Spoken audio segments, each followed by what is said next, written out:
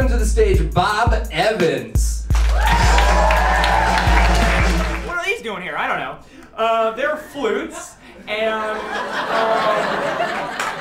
I wanted to get a slide whistle, you know, for my comedy routine. Uh, I couldn't find one, so I borrowed my son's uh, little flutes here. So uh, if you ever hear a joke, and I, you know, I'll just, you know, and you'll know that it is a joke. Oh God. Hello. Oh no, I'm sleeping. Okay. um, alrighty. So uh, I got these bamboo flutes uh, in another country. Anyone ever been to Mexico? Hey, I have been there for spring break. spring break Cancun. Oh, boy, ooh, take my shirt off. um, so yeah, I took my son down to Mexico. Uh, had to get away from the old uh, ball and chain.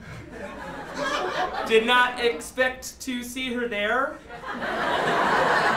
with a colored fella called Rick. So that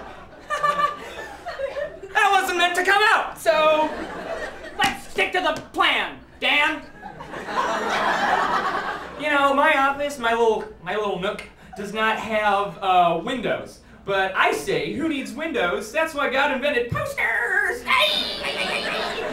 um, I look to my right, and there is the coast of Washington, beautiful Washington. I look to my left, and to be honest, there is a picture of my wife and child. When times were better. Okay. Let's go. Ah! Cameras. Uh, a lot of guys uh, say, uh, let's put it this way, four out of my 39 coworkers all agree that I am the craziest guy around the water cooler. uh, yeah, yeah, yeah. uh, oh yeah. and um, oh, one fella in particular, Ron, he says to me, uh, he says, he says, you know what, Dan? You are one wacky son of a bitch. Me, a son of a bitch.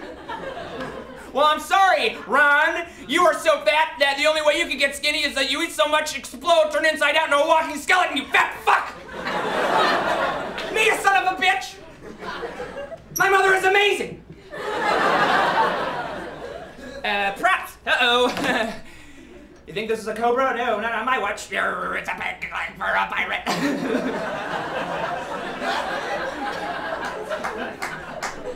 uh, hello? Uh, 911. Yes, hello? Is it an emergency? Yeah, I just killed my wife.